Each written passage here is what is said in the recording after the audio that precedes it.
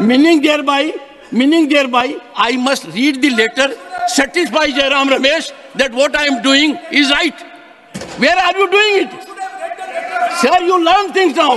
I don't have to. I read it because I read it because you virtually insulted Chaudhry Charan Singh. You insulted his legacy.